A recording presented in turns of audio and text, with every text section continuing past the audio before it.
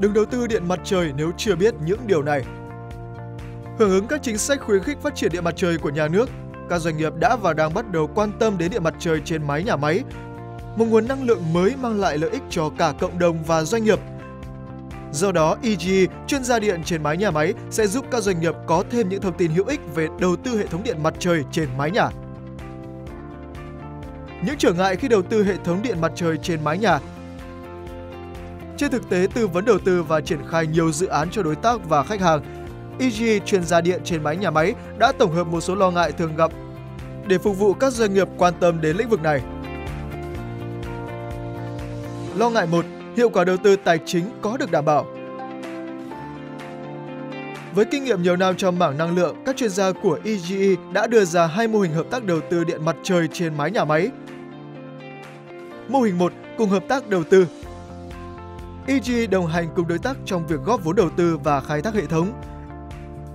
EG đảm trách toàn bộ các khâu thiết kế, lên phương án tài chính, thi công lắp đặt, vận hành và bảo trì hệ thống trong suốt thời gian vận hành dự án trong 20 năm. Mô hình 2, EG đầu tư 100% hệ thống và chia sẻ lợi ích với đối tác theo các hình thức thuê máy, chia sẻ doanh thu, bán điện cho đối tác với giá ưu đãi.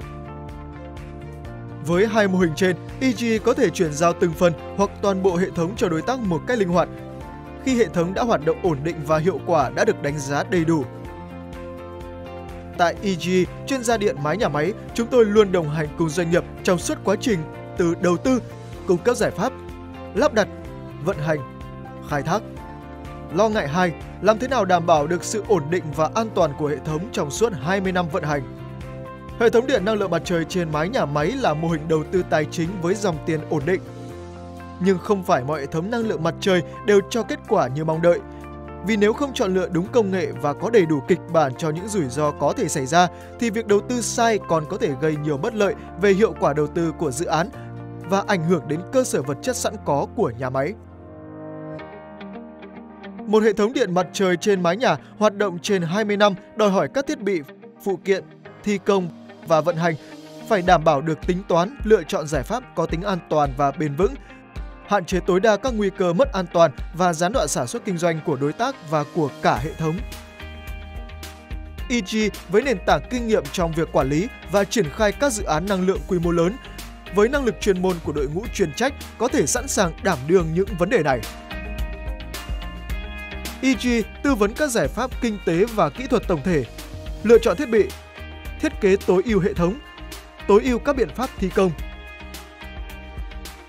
EG có kinh nghiệm đánh giá các yếu tố tác động đến hiệu quả hoạt động của hệ thống điện mặt trời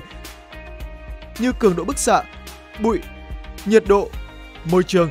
các yếu tố gián đoạn hệ thống vì các yếu tố ngoại quan nhằm tối ưu sản lượng của hệ thống.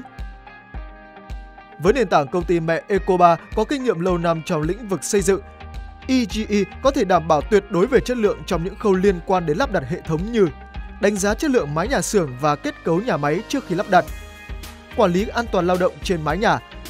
an toàn khi lắp đặt các thiết bị điện, đấu nối và kiểm tra hệ thống, luôn có kịch bản phòng ngừa rủi ro dẫn đến nguy cơ tạm dừng hoạt động nhà máy. Quá trình vận hành hệ thống trong suốt 20 năm sẽ được giám sát chặt chẽ bởi đội ngũ chuyên gia giàu kinh nghiệm của EGE